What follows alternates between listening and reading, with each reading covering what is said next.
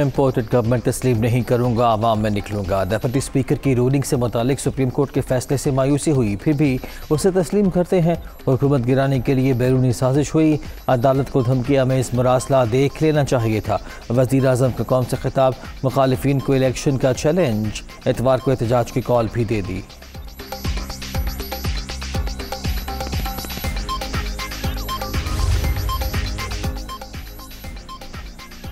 अमरीका ने एक बार फिर वजी अजम इमरान खान के इल्ज़ाम मुस्तरद कर दिए। इल्ज़ाम में सदाकत नहीं, पाकिस्तान का इनका एहतराम करते हैं। नायब तर्जुमान अमरीकी महकमा खारिजा।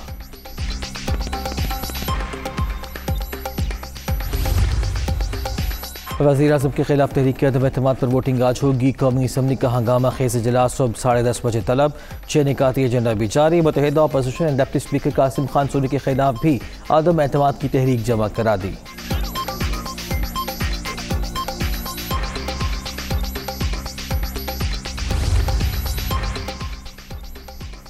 तहरीक आदम अहतमाद पर डेपटी स्पीकर की रूलिंग से मुतल अदालती फैसला हुकूमत का नजरसानी अपील दायर करने का ऐलान। अदालती अहकाम के बाद पार्लियामान की बालादस्ती खतरे में पड़ गई। आलमी साजिश के खिलाफ कमीशन तश्कील दे दिया। साजिश कहाँ बुनी लोकल हैंडलर कौन थे? नबे रोज़ में मुकम्मल तहकीकत होंगी। हर तरह के हालात का मुकाबला करने को तैयार हैं। इमरान खान वज़ीर अजम हैं और रहेंगे फवाद चौधरी।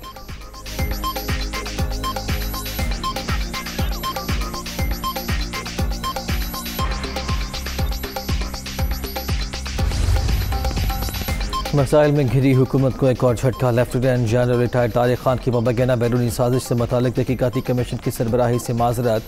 हुकूमत पाकिस्तान ने लेटर गेट इंक्वायरी के लिए नाम तजवीज़ किया। ज़ाती वजूहत की बिना पर खदमात अंजाम नहीं दे सकता। तारिक खान का जवाब।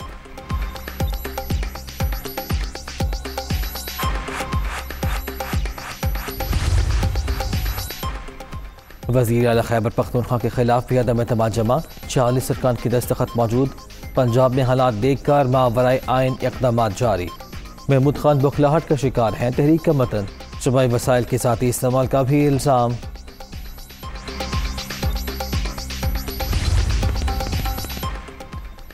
हुकूमत की जानब से पेट्रोलियम मसनूआत की कीमतें मस्तकम रखने का मामला, पेट्रोलियम डिवीज़न ने सब्सिडी फौरी ख़त्म करने की तजवीज़ दे दी।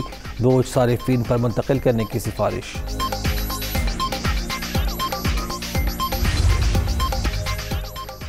और कौमी वेट लिफ्टर तलहा तालिब का डोप टेस्ट मुस्बत आ गया। कॉमनवेल्थ और ओलंपिक्स गेम से बाहर कम अज़ कम चार साल सज़ा का सामना करना पड़ सकता है। मजीद खिलाड़ियों के भी टेस्ट।